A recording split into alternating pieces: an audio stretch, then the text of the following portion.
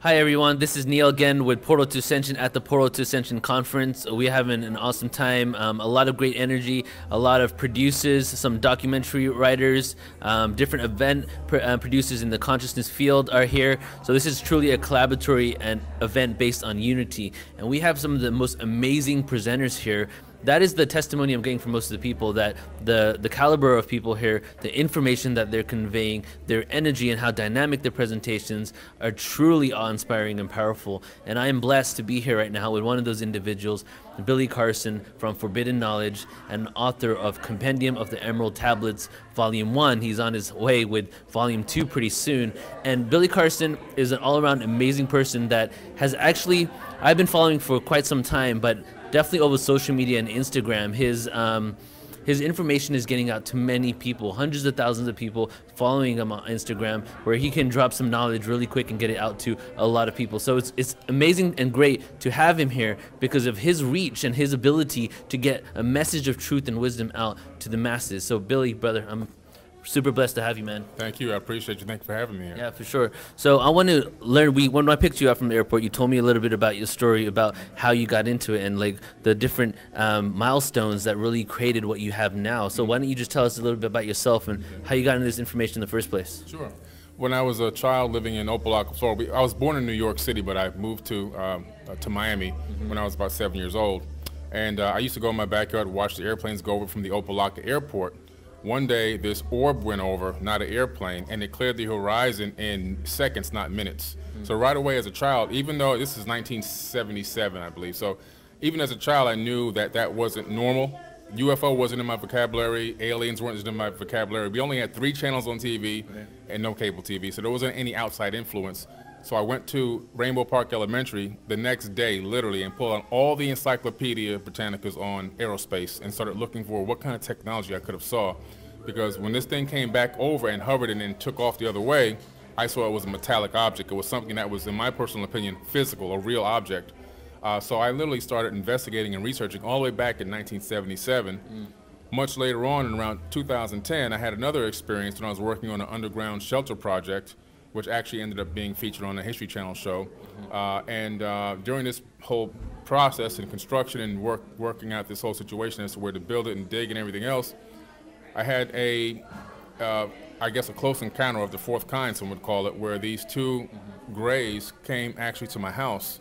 Not too late in the evening, 9 o'clock at night, people were in the house, um, and they didn't um, do any type of telepathic communication with me, but they did something which caused my brain to shake in my skull and caused me to try to scream, and I couldn't get the, the sounds out. When they left, I felt a little change. It felt like a little bit of a different person. It took me down another path. Mm-hmm. For whatever reason it happened, I'm not sure, but two things burned into my mind. One was the Worldwide Telescope, which I ended up going and researching and looking up because it just kept coming up in my mind over and over again. Ended up being a real a real website that existed with software wow. to, to download. Yeah and I downloaded this software and was able to access information about uh, all the space probes and, and, rovers in our solar system. And then the other thing was quantum mechanics and quantum physics, which I started diving into heavily right. and became pretty decent at. And this was in 2010? Yeah, 2010. Right. So what do you feel it was? It was like kind of a download, maybe some messages that in gave you download or sparked some sort of awareness that you had already within you? What do you feel actually happened there? looking well, and when it happened, I was horrified. Uh, it really disrupted my whole family life, including wow. uh, mostly a catalyst to actual divorce as, as well. So oh, I didn't wow. win anything from this situation. I kept it quiet for some time.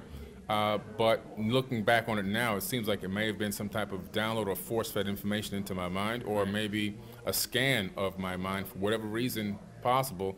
But I do the after after it happened, those two things were there, and I have to admit I did feel a little bit smarter after that. Right. So you said in 2010 you were working on a project that got picked up by the History Channel. Yeah. What was the project? It's called Fort Terra Nova. It's an underground city the size of three Walmarts that can save the lives of 360 people right. in case of a local, global, or geological disaster worldwide. How did you come across that information? I was researching the precession of the equinoxes on my own, just as an amateur astronomer. Okay. And nothing, nothing to do with consciousness and spirituality at that point. Nothing to do with conscious, consciousness or spirituality just uh, had to do with geology and astrobiology and uh, astrophysics. I realized that precession of the equinoxes was speeding up, and that hmm. alarmed me because in order for precession to speed up, that means our sun would have to be moving faster, and if it's moving faster, that means it's going to orbit something. What is it going to orbit? Hmm. So I started looking into all the potential situations that could happen, and I found out that scientists have been looking at this for a while, that we are speeding up a precession and that um, we may be orbiting another spatial body. And that's when I discovered that we are orbiting another sun. It's a brown dwarf star. Right. It's already been discovered. It's not even a mystery anymore. It orbits us every 4,500 years, or we orbit it, uh, so to speak. And we live in a binary solar system. But I, I found that the gravitational effects of this uh, on a close orbit could cause a, a, a, geological disaster on this planet, and it has in the past, according to ancient texts, along certain timelines. And that um, I felt that that needed to be built to, to ensure the survival of maybe a future generation of Wow. mines. Is this connected to the Anunnaki story at all? Uh, yes, actually, it is. That's how I found out about the Anunnaki. To be honest, I didn't find out about them first and then work on this. Yeah. I found out about this first, and then through my research into the geology and through astrobiology and astrophysics, I discovered that the Anunnaki uh, were in the ancient Sumerian tablets and, and uh, some of these other gods spoken about in the Mahabharata, the Bhagavad Gita, and some of the other ancient texts as well. Wow. That's really amazing because when I first got into this, I got into the ancient alien question, but through Sumerian scriptures. But it was I was raised Hindu and I wanted to learn about vibration and frequency. But I stumbled onto the Sumerian scriptures talking about vibration, frequency, DNA, serpentine energy, and then the next thing I figured out was the Mahabharata as well. So there's this this huge connection going on here. But you saying 4,500 years um, rotation around this star? I'm curious to know if you're studying the sun speed going faster, how does that happen in a binary star system? Well, what happens is when you're in a, in a binary star system, and you, that means you have two huge spatial bodies that are orbiting each other. So Yeah. as they get closer, they need to obtain breakaway speed. So as they as they're getting closer, they, they speed up, then they break away, then they slow down just a little bit, just Yeah, enough, yeah. and then they speed up again. And, they, and so it's a, just a weird elliptical orbit that they have around each other, and along with them, they pull all the other planets. Right, Uh, scientists and, and astrologers have already, uh, astronomers have already found this other brown dwarf, and it has planets orbiting it. So there's a solar system within our solar system, just outside the orbit of Pluto. Wow. And there's multiple planets in that solar system? There's planets orbiting, probably six planets orbiting this Brown this dwarf. brown dwarf, Right. and this is actually peer-reviewed, vetted science. It's not even like a mystery or a conspiracy. This is actually real science. It's going to be in future science books. What about uh, Nibiru? Is the brown dwarf Nibiru? Does is or does Nibiru rotate around that brown dwarf? And is Nibiru still in existence? Yeah, see, so that's where a lot of the confusion comes. A lot of the people who have been looking for this Nibiru think it's a single uh, rogue planet, but now, due to all the research I've put in, I believe that it's a planet that orbits a brown dwarf star, which would account for some of the descriptions of Nibiru in some of the ancient texts, as well as the Enuma Elish and the Seven Tablets of Creation, and also the, ep- the uh, Epic of Atrahasis, or the Atrahasis Epic. Those two predate Zacharias Sitchin's work by hundreds of years, and they've been translated for hundreds of years, long before Zacharias Oh, wow. Sitchin was even born. So they were they were dealing with and going deep into the Sumerian tablets. So Zacharias Sitchin was not the first one to do that. Oh no, no, he's not the first, and wasn't even close to the first. There were people doing this all the way back in the 1700s that had already gotten to the uh, the Sumerian tablets and already had deciphered uh, those two main pieces of work I just mentioned, as well as the Epic of Gilgamesh as well. Right.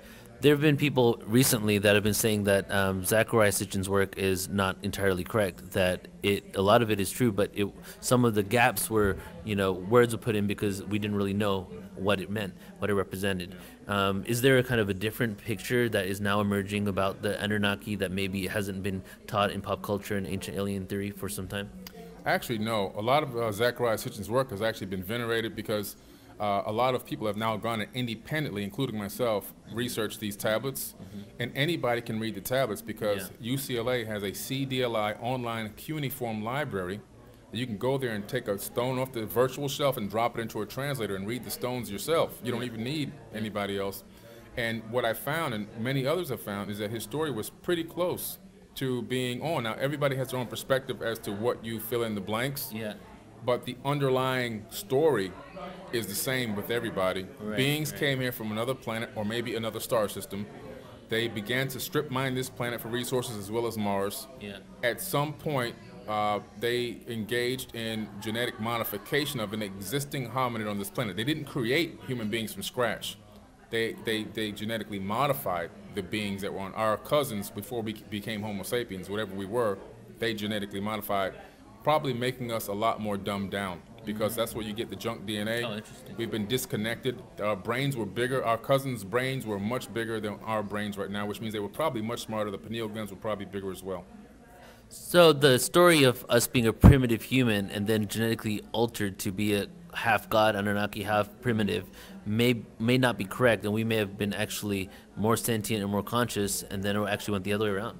Absolutely. I truly believe that we were uh, much smarter, much more intelligent, Yeah. and much more advanced. Not technologically advanced, more spiritually advanced, more in tune with the planet, the Earth, the frequency, the Schumann resonance of the Earth. Mm. Our, our billions of magnetite crystals on our brains were probably being used. We were able to probably navigate the planet, communicate silently, and everything else.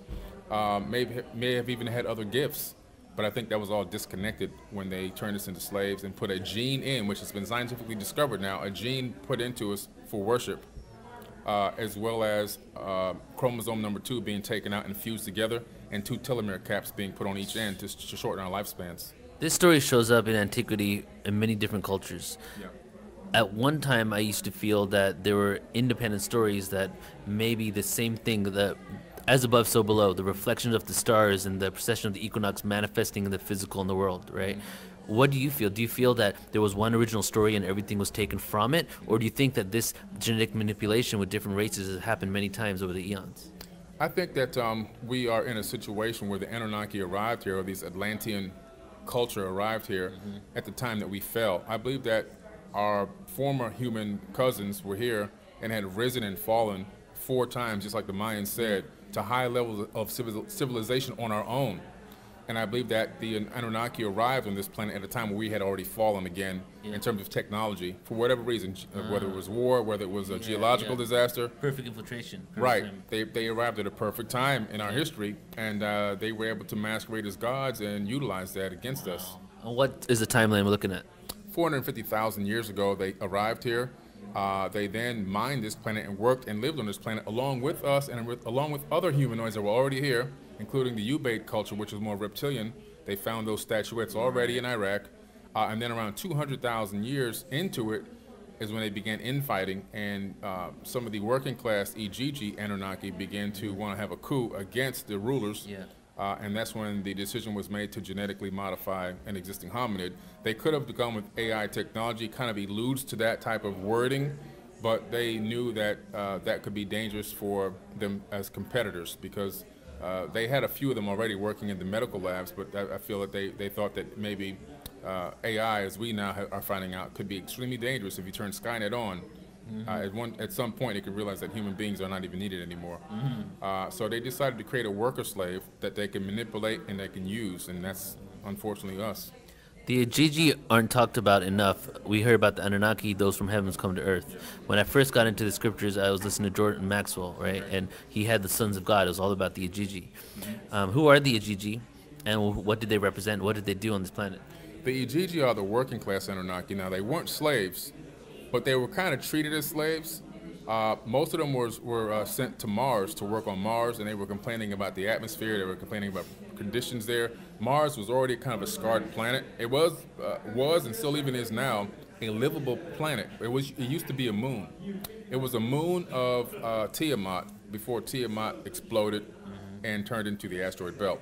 Uh, now, these Igigi, they are the ones spoken about in the Old Testament that basically fell to earth is when they came to earth and they took women as, uh, as their wives.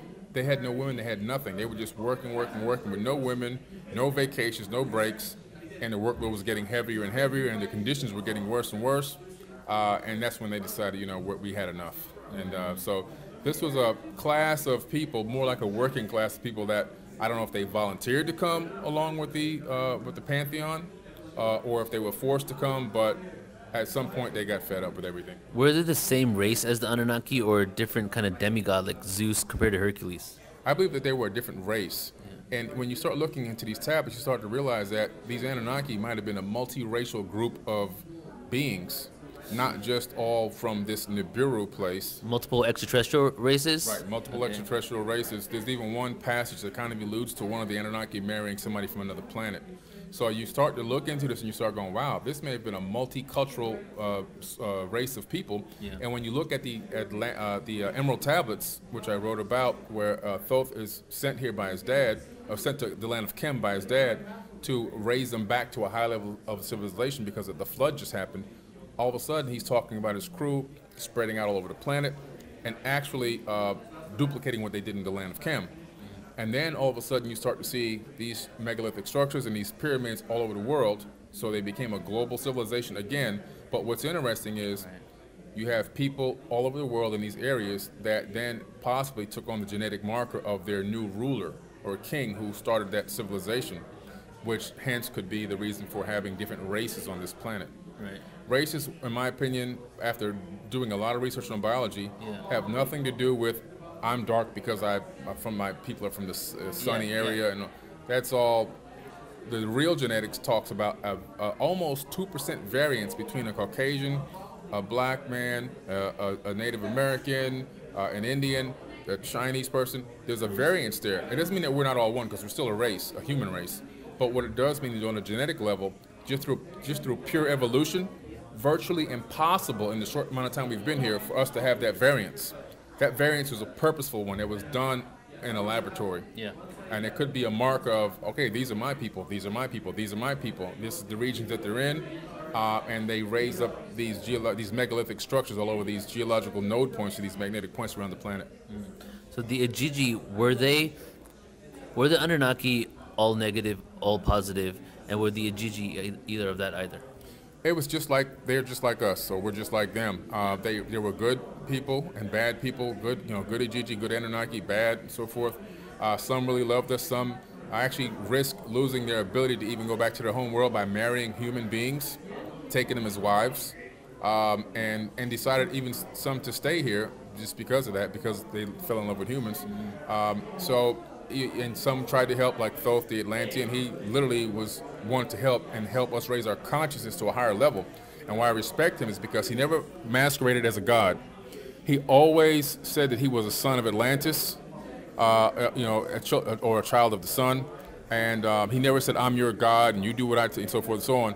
He was deified long after he left a certain area. He left an area, he became then deified, and that's how he became called a god. But he never masqueraded as a god. Right, right. If you track uh, human history from the fallen angels, the Igigi, there have also been scriptures out there that talk about the Anunnaki staying in the heavens, where the Igigi were the slave drivers, or what do you want to call them? They were doing the work down here.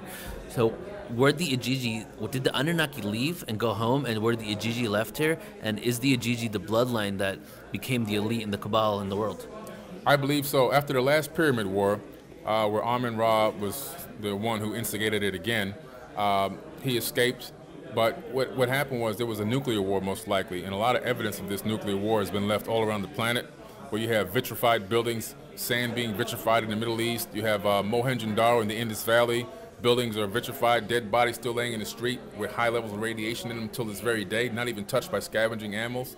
So I believe that at that time um, there was a, a war, and a lot of them left, but some of these working class Igigi people stayed here. They already had wives and families and bloodlines and everything else, probably even leading to the Merovingian bloodline, which would have led to Yeshua, who some people call Jesus. Uh, so I believe that the bloodline stayed, and when you really track these bloodlines and track it all the way back from the um, the uh, Sumerian kings list at the Ashmolean Museum in Oxford, England, you discover that uh, some of these Anunnaki people were ruling the earth for 28, 14, 15, 20,000 years. It ended up being over 140,000 years, but then you track that bloodline, it leads after the Great Flood into a half human, half Anunnaki bloodline that they had, which uh, was like the kingship or the pharaonic bloodline. And then you've tracked that after Alexander the Great conquers Egypt, far in the future from that point. Uh, these these pharaohs and their, their bloodlines start start basically migrating towards Europe, and across that time they're mating with Arabs, they're mating with um, people from the Caucasus Mountains and so forth. They end up in England, they start another kingdom there. Uh, they become mostly Caucasian by this by this time, but their lineage goes all the way back to that Sumerian kings list. From there, you can track it all the way into the future, into the present current day where we're at now with the presidents of the United States all being directly related to that same exact bloodline, all cousins, genetically proven, proven on the genealogies, many genealogy sites, and also even admitted by most of the presidents, current presidents themselves, including Obama's already admitted, uh, Bush, uh, Trump, Clinton. Yeah. It's uh, even Hillary Clinton and Bill Clinton are actual cousins. They're Yeah. like eighth cousins, and so forth. Bill Clinton is a cousin of Hillary Clinton. Obama Yeah, and yeah. Bush are cousins. So it just goes way back, and it just shows you that um, no matter who wins the presidency of the United States, they always win because they have Right, right. dogs on both sides, basically. And uh, so no matter wh- which one wins, they always they always win. They meaning the, the people that really run this planet. And it makes you wonder from birth, these people have to be conditioned to become our leaders from before birth, Yeah. from like thousands of years. The plan has to have been over thousands of years, but we live for such a short period of time that we forget, mm-hmm. right? And the new generation doesn't care about the problems of the old generation because we have too much now. It's been a really well constructed system to keep us enslaved, if you want to call it that, right? Mm-hmm. Where the Igigi? So if the before the before the Great Flood, was the bloodline pure? And after the Great Flood, you said it became half human, half um, Anunnaki. So it mm-hmm. changed right after that, but it was pure before? Yeah, before the flood, it was uh, pure bloodline, kingship. After the great flood, a decision was made to hand over kingship to um, to humans, but not just humans in direct. You'd have to have a contact or a person in the middle, and that middle person would be half human and half uh, Anunnaki or half Atlantean, whatever you want to call it. Uh, so that's how they maintain that bloodline, a little bit of control there. Uh, and these people that are ruling this planet, if you ask them, they truly believe that they were designed and born and bred to to rule over everybody on the, to own us and rule over us and tell us what to do and control us. Rothschild, Rock, Rockefeller, all these people are in their mind. That's their reality. That's what they feel. Yeah. Even the Igigi, who were the working class that were treated almost like slaves by their overlords, Yeah. came here and instead of being like, no, I don't like this, they started doing the exact same thing. Yeah. And even if some of them were good people that were just on this planet getting um, uh, mating with, you know, d- daughters of men, Yeah. over time it seems they created this systematic control of power. Mm-hmm. Yeah. And power obviously creates more power. And once you want have some, after thousands of years, it makes sense that they would be at the level of complete delusion of power that they are right now. Is that right? Absolutely. Yeah, what happens is you get a God complex. And when you start ruling and controlling people in a way and telling people that you're a God over time, you truly start to believe it. Yeah. This happens in current day times right now with people that live here, you know, that are running countries. Yeah. Uh, you start to get a God complex, and they actually got a God complex. They had so much superior technology over us. They had a much better understanding of the ether of space time itself, how to manipulate frequencies and how to manipulate matter. Mm-hmm. Um, so they were so far in advance. Uh, and plus, this was like a wild, wild west for them. They had no real laws here keeping them in check. So when they sort of, at first, they would combat each other as to is this ethical to do or just not ethical Wow. to do. And then later on, you start to see it was just like whatever goes. You know, it's like just do whatever. Right, right, right. It was they got like- used to the fact that there was no oversight. Exactly, no oversight. When they got used to it, they just went crazy. I mean, they literally just just went completely off the ranch. yeah. And unfortunately for us, uh, it put us in the jackpot, and there was nothing we can do because we didn't have the understanding or the technology to combat them. We had the numbers. So what they did was, since we used to live for a very long time before they even got here, um, we at the Tower of Babel incident, we were actually building a tower.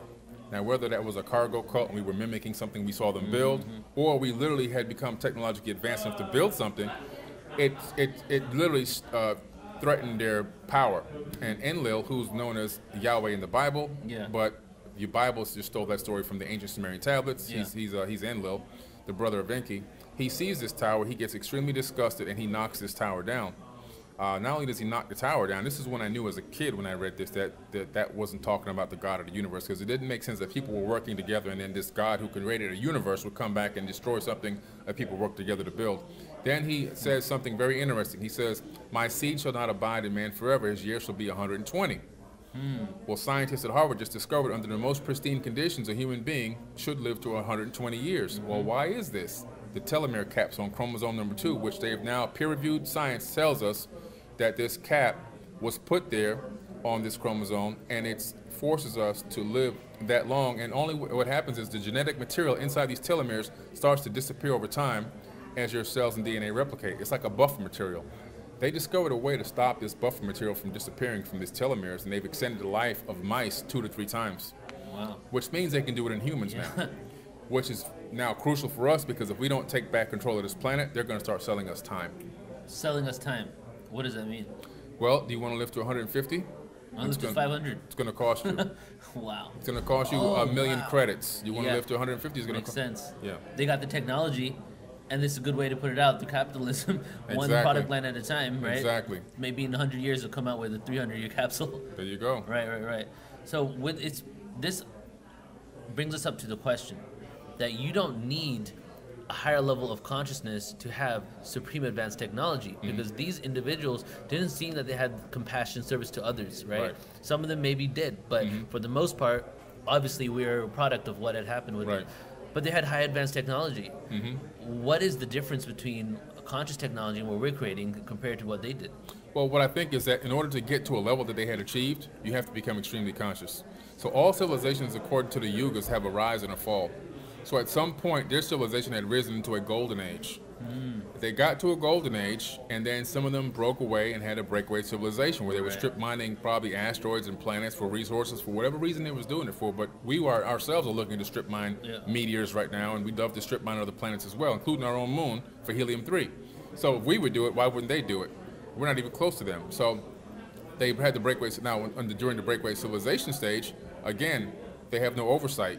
So all these other thoughts start to come in, and you start to get this God uh, type of a conscious. So you think you're a God for real, and you're ruling over people, and you're making decisions with no oversight, and you're breaking every fundamental law that your civilization has already put in place, and there's nobody to stop you. So now here comes the decline of that consciousness, but the technology already exists.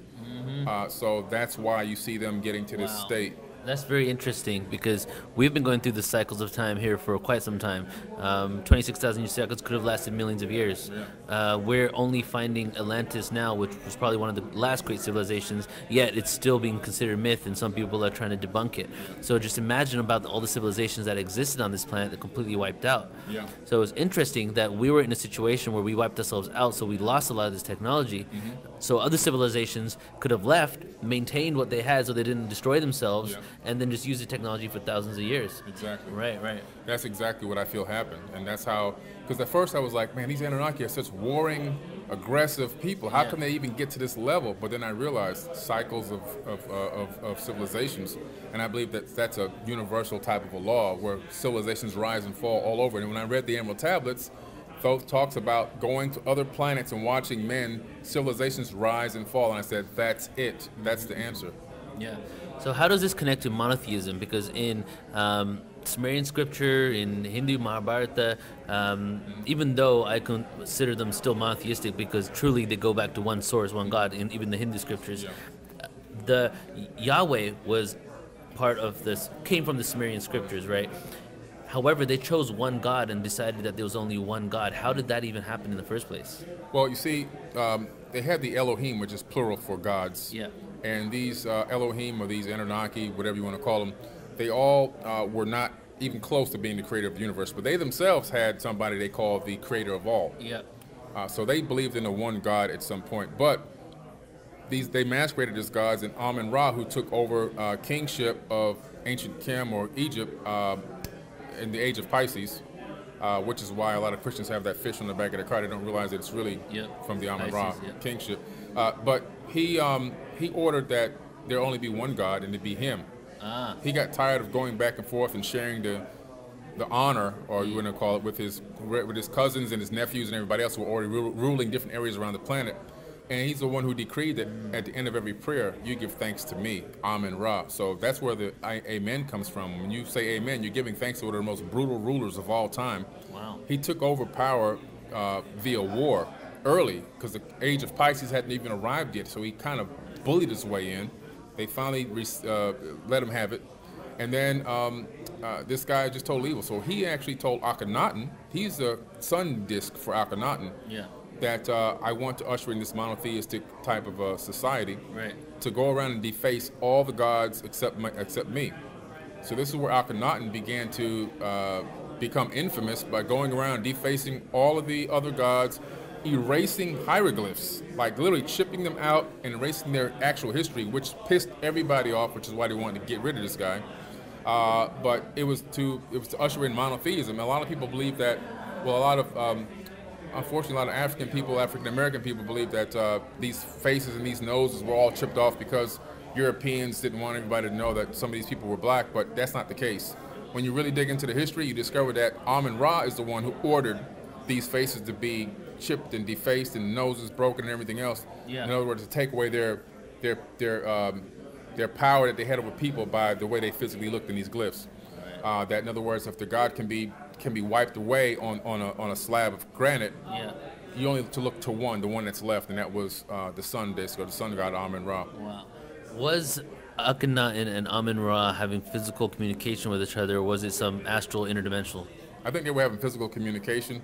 I think there were a lot of Anunnaki communicating directly with uh, pharaohs and people on this planet through the stelas. The stelas were known to give off sound and voices, I believe because they're made of crystal granite. Crystal is a receiver of, of uh, radio frequencies. Yeah. And it'd be very easy for me to transmit a frequency into a crystal receiver and have a voice come out of it.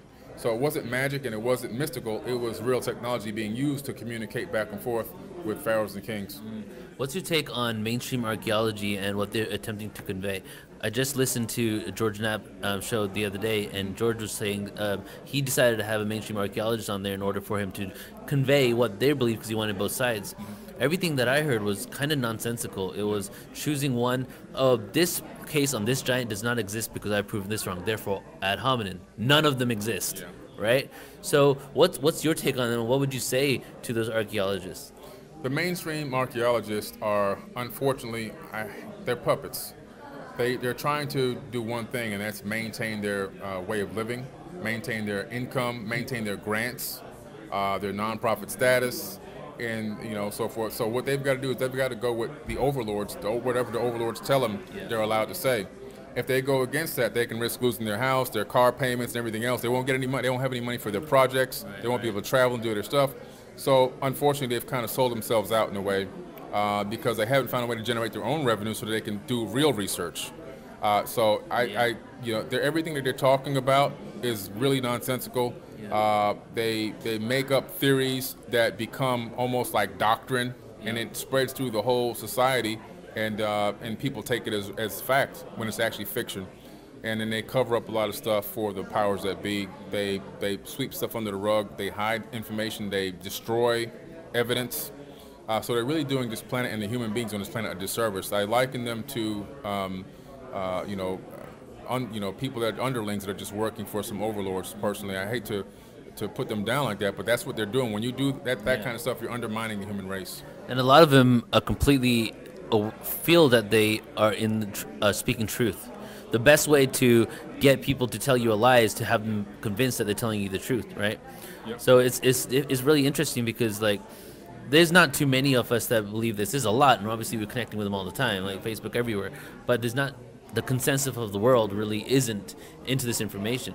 So it's so interesting to observe that it is they are literally delusional, right? Yeah. The information is out there, but the the duality of it all is that the ones that know the truth are being considered delusional, Yeah. right? Right. What do you feel? Like, do you feel that this is going to um, change the world very soon? That we have hope in having our history books rewritten? How are we going to get those in charge to allow, at least, for Yeah. this information to come out, or are they going to just lose power and it's going to come out that way? Well, nothing lasts forever. So all kingdoms rise and fall. Right now, we're living directly in the new Rome, which is America, and this kingdom itself will fall at some point. Yeah. Uh, and all it takes is for a critical mass amount of conscious people on this planet to get to a point where 30, 40 million people can wake up one day and go, we're going to say no. No to everything. We're going to say no to paying our mortgage payment. We're going to say no to keeping our money in your banks. We're going to say no to buying gas. We're going to say no to everything. We're not going to show up for work. Yeah. And when 20 to 30 million, maybe 40 million people do that all in the same day, uh, the entire system will collapse and be reorganized.